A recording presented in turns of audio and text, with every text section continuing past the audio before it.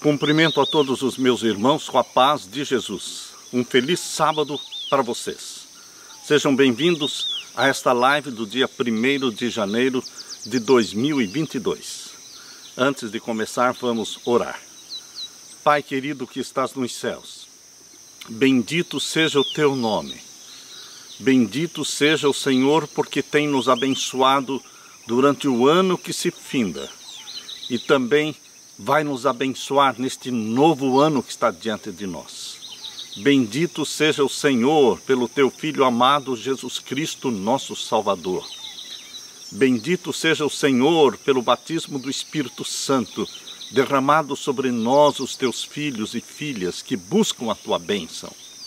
Pai eterno, ouve a oração do teu povo, apressa os últimos dias, para que Jesus Cristo volte logo.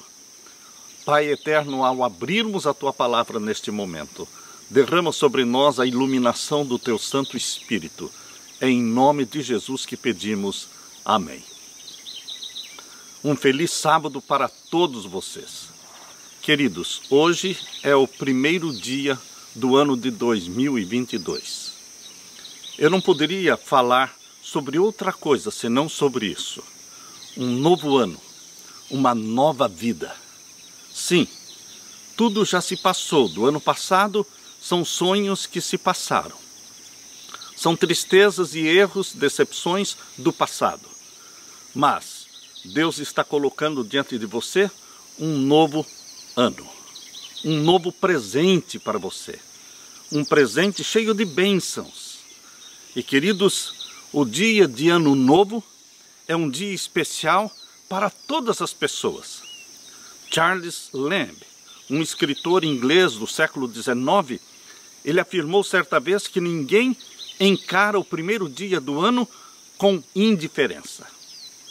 O primeiro dia do ano não é indiferente para ninguém. É um dia especial para todos nós. A verdade é que temos sonhos, temos sonhos e temos projetos que não puderam ser realizados no ano que acabou. Mas sonhos e projetos que ainda existem no nosso coração e que poderão ser realizados no novo ano. Alfred Tennyson, um poeta inglês, ele escreveu que quando criança, ao se deitar na véspera do ano novo, ele fez um pedido para sua mamãe: Mamãe, acorde-me amanhã bem cedo. Me acorde bem cedo, porque amanhã será o momento mais feliz de todo o alegre ano novo. Queridos, um outro poeta moderno definiu o ano novo como viver os velhos desejos. A pesquisa mostra que a maioria das pessoas ainda expressa um bom desejo, um bom propósito para o ano que está começando. Um ano novo é a mais antiga dádiva do céu para a humanidade. Podemos e devemos receber o ano novo como sendo um vaso de alabastro. Receba o ano novo como sendo um vaso de alabastro, um presente de Deus cheio de coisas preciosas. Se queremos mesmo que o ano novo seja melhor do que o velho, existem algumas coisinhas que precisamos deixar para trás coisas que não podem ser trazidas para o ano novo. Quais são estas coisas do velho ano que não podem ser trazidas para o novo ano? As tolices, as tolices, os ressentimentos, as mágoas, os pecados acariciados que prendem os nossos pés nesta caminhada para o céu, para a Nova Jerusalém. Nós temos que romper com os pecados com os ressentimentos, com as mágoas do passado. Nesse primeiro dia de 2022, Jesus está estendendo a mão para você, meu querido irmão, minha querida irmã, e Jesus está convidando. Vamos caminhar juntos. Vamos andar juntos este ano. Jesus é a luz que resplandece nas trevas. Isso que aconteceu lá na Galileia. A Galiléia era considerada uma região de trevas. Abra sua Bíblia em Isaías capítulo 9, versos 1 e 2. Isaías capítulo 9 e os versos 1 e 2. A terra que era entenebrecida, ela recebeu a luz, porque ali viveu Jesus Cristo a maior parte da sua vida, na Galileia. Por isso ele é chamado de Galileu. Isaías, capítulo 9, verso 1 diz: Mas a terra que foi angustiada não será entenebrecida. Ele envelheceu nos primeiros tempos a terra de Zebulon e a terra de Naphtali, mas nos últimos a enobreceu junto ao caminho do mar, além do Jordão, a Galiléia dos gentios. O povo que andava em trevas viu uma grande luz, e sobre os que habitavam na região da sombra da morte resplandeceu a luz. Jesus Cristo nasceu em Belém, bem pertinho de Jerusalém, mas a vida dele ele passou quase que toda ela na Galiléia. Foi lá que resplandeceu a luz. Queridos, três homens desconhecidos, estranhos, se encontraram no lugar e eles não se entendiam. Um não falava a língua do outro.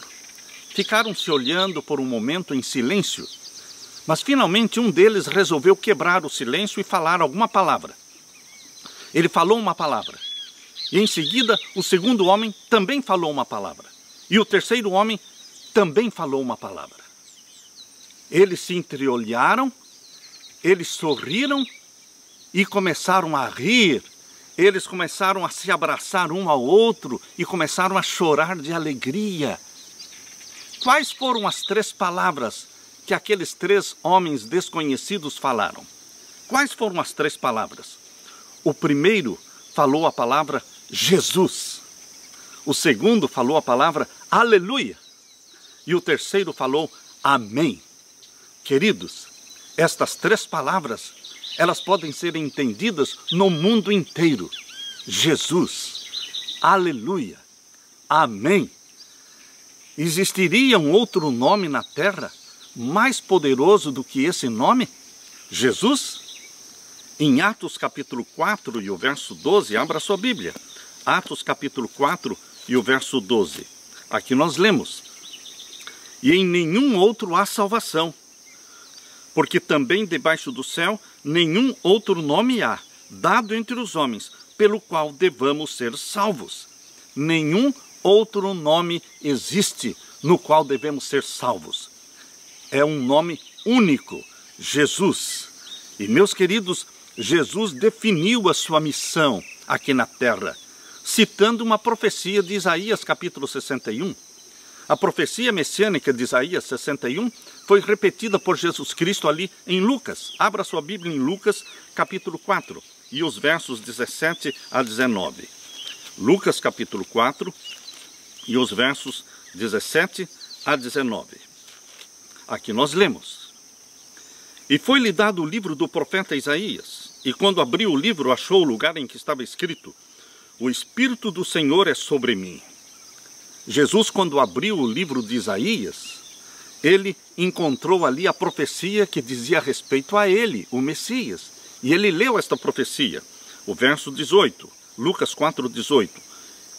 O Espírito do Senhor é sobre mim, pois que me ungiu para evangelizar os pobres. Enviou-me para curar os quebrantados de coração. Enviou-me para pregoar liberdade aos cativos e dar vista aos cegos e pôr em liberdade os oprimidos e anunciar o ano aceitável do Senhor. E cerrando o livro e tornando-o a dar para o ministro, assentou-se, e os olhos de todos na sinagoga estavam fitos nele.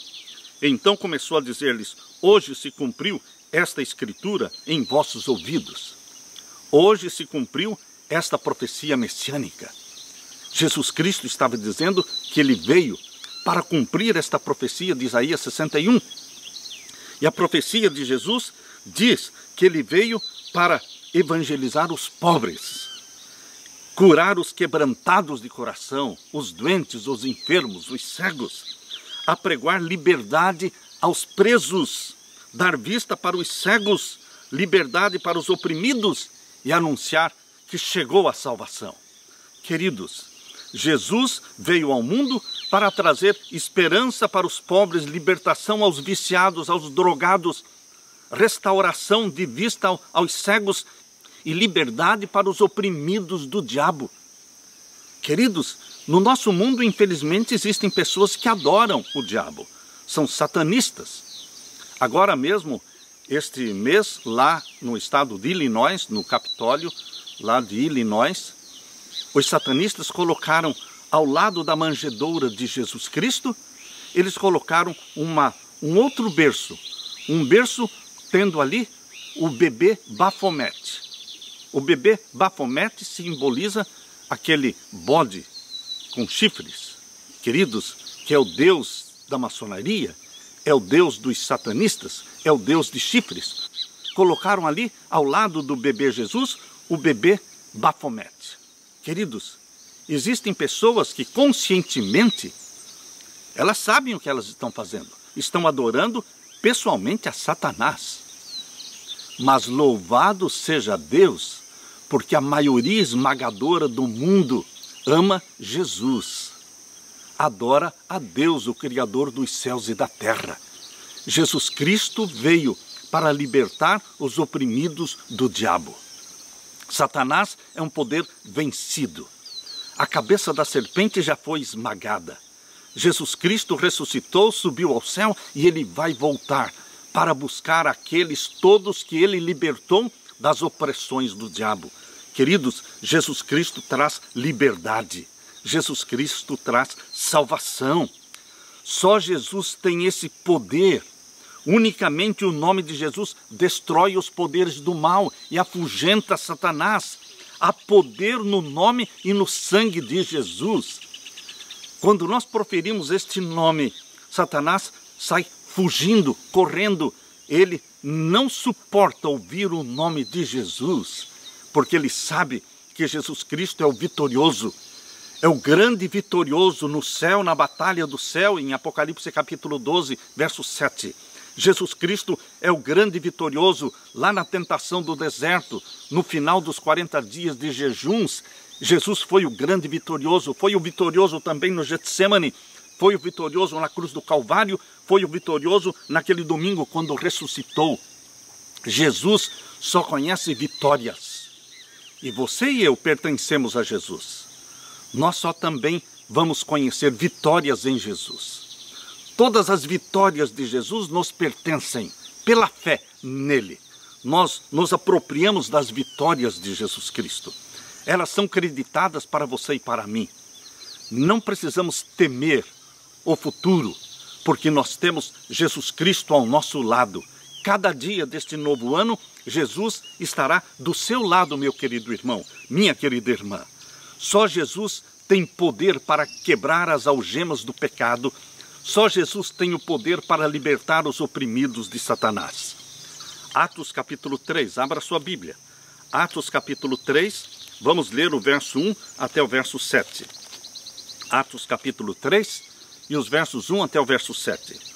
E Pedro e João subiam juntos ao templo à hora da oração, a hora nona, e era trazido um varão que desde o ventre da sua mãe era coxo, o qual todos os dias punham à porta do templo chamada Formosa, para pedir esmola aos que entravam, o qual, vendo a Pedro e a João, que iam entrando no templo, pediu que lhe dessem uma esmola. E Pedro, com João, fitando os olhos nele, disse, olha para nós. Ele olhou para eles, esperando receber deles alguma coisa, e disse Pedro: Não tenho prata e nem ouro, mas o que eu tenho, isso eu te dou. Em nome de Jesus Cristo Nazareno, levanta-te e anda. E tomando-o pela mão direita, o levantou, e logo seus pés e artelhos se firmaram. E saltando ele, pôs-se em pé, e andou, e entrou com eles no templo, andando e saltando, louvando a Deus e todo o povo ouviu andar e louvar a Deus. E conheciam-no, pois era ele o que se assentava a pedir esmola à porta formosa do templo, e ficaram cheios de pasmo e assombro pelo que lhes acontecera. E apegando-se o coxo que fora curado a Pedro e a João, todo o povo correu atônito para junto deles ao alpendre chamado de Salomão. E quando Pedro viu isto, disse ao povo: Varões israelitas, por que vos maravilhais disto? Ou por que olhais tanto para nós, como se por nossa própria virtude ou santidade fizéssemos andar este homem? Verso 13: O Deus de Abraão e de Isaac e de Jacó, o Deus de nossos pais, glorificou a seu filho Jesus, a quem vós entregastes e perante a face de Pilatos negastes, tendo ele determinado que fosse solto. Mas vós negastes o santo e o justo e pedistes que se vos desse um homem homicida, e matastes o príncipe da vida, ao qual Deus ressuscitou dos mortos, do que nós somos testemunhas, e pela fé no seu nome, fez o seu nome fortalecer a este que vedes e conheceis. E a fé que é por ele deu a este, na presença de todos, esta perfeita saúde. Queridos, Jesus Cristo era tudo que os discípulos tinham para dar. Eu não tenho prata e nem ouro, disse ele, mas o que eu tenho eu te dou. Em nome de Jesus Cristo, levanta-te. O nome de Jesus é poderoso. Você e eu possuímos Jesus. Esse é o nosso maior tesouro, Jesus. Quando veio o dilúvio, queridos, nos dias de Noé, só existia um lugar seguro de proteção, um esconderijo certo de segurança. Só existia um lugar em que eles poderiam se proteger. Era a arca de Noé. Não existia outro lugar. Nem montanha, nem árvore alta, nem rochedos, nem torres, nem cavernas, nem balsas. Tudo era sem valor. O único lugar de segurança que existia nos dias do dilúvio era dentro da arca de Noé. Oh, meu querido irmão, nós estamos vivendo em dias de tormenta, em dias de vendavais, em dias de angústias. E este ano de 2022 nós vamos ter muitas tormentas e muitas angústias, mas existe somente um lugar de segurança. Existe somente um lugar de refúgio, esconderijo, rocha forte. Esse nome é Jesus Cristo, nosso refúgio, Jesus Cristo, nosso esconderijo, Jesus Cristo, nossa rocha forte, nosso socorro e a salvação presente. Queridos, hoje também Jesus Cristo quer que você corra para Ele. Ele é o único lugar que traz salvação e proteção e libertação. Existe lá no sul da Índia uma região chamada Tamil. Ali nesta região do sul da Índia, chamada Tamil, Ali é muito comum o nome que os pais dão para os seus filhos de Yesu Ratinan. Yesu é um nome usado para Jesus e Ratinan significa joia. Portanto, Yesu Ratinan significa joia de Jesus. Os pais amam dar este nome para os seus filhos, porque creem que seus filhos sejam joias de Jesus. Queridos, o maior nome, seja no Oriente ou em qualquer parte do mundo, é o nome Jesus Cristo. É o nome que nós amamos e reverenciamos. O nome Jesus vem do hebraico Joshua, uma combinação dos dois nomes, Já, que é uma contração de Jeová, e Oshua, que significa salvação. O nome Oséias vem de Oshua, que quer dizer salvação. Este era o nome de Josué. Josué, a Bíblia diz, filho de Num, o nome dele era Oséias, ou seja, Oshua. E provavelmente foi Moisés que acrescentou, adicionou ao nome de Oséias o Já, o J-A. Então ficou Joshua, ou seja, Josué. Josué é o nome que provavelmente Moisés deu para Oséias. E foi Josué que introduziu o povo de Israel na terra prometida. Queridos, Pense que 1500 anos depois da morte de Josué, 1500 anos depois da morte de Joshua, veio um segundo Joshua, veio um segundo Josué, e ele é Jesus. Jesus é o mesmo nome de Josué. Queridos, assim como Josué introduziu o povo de Israel na terra prometida, agora o segundo Joshua, Jesus Cristo, o que nasceu da Virgem Maria, gerado pelo Espírito Santo, ele vai introduzir você e a mim na terra prometida, na Canaã celestial. Queridos, o nome de Jesus Cristo deve ser a nossa senha. O nome de Jesus Cristo deve ser nossa insígnia. O nome de Jesus Cristo deve ser nosso laço de união. Um menino de quatro aninhos de idade ele recebeu do seu papai um livro para pintar e colorir. E então ele gastou ali muitas horas pintando, rabiscando, colorindo. E depois, quando o livro estava todo riscado, ele foi para o papai e disse: Papai, este livro está todo estragado. O senhor poderia me dar um outro novo? Ó, oh, queridos, o ano velho que se passou é como um livro estragado. Cometemos muitos erros, muitas decepções, muitos sofrimentos, mas agora Jesus Cristo, como nosso Pai, está nos dando um livro novo, um livro novinho, com páginas limpas, claras, que podem ser escritas. Neste ano de 2022, você pode preencher cada uma destas páginas do novo ano, escrevendo, pintando e colorindo com a presença de Jesus ao seu lado. Precisamos de Jesus para preencher cada página deste novo livro, 2022. Podemos fazer de cada página um degrau no desenvolvimento de um caráter semelhante ao de Jesus. Queridos, o escritor inglês John Ruskin, ele ensinou aos seus alunos que cada dia é uma miniatura de uma existência inteira. Lembre-se, cada dia é uma miniatura de uma existência inteira. E o Ruskin dizia: vive melhor aquele que faz de cada dia aquilo que desejaria que fosse toda a sua vida. Queridos, como é que vocês gostariam que fosse toda a sua vida? Viva cada dia da forma como você desejaria que fosse toda a sua vida. Não adianta ficar chorando e lamentando os erros do passado. Não adianta se encher também de ansiedade pelos dias do amanhã, pelo futuro.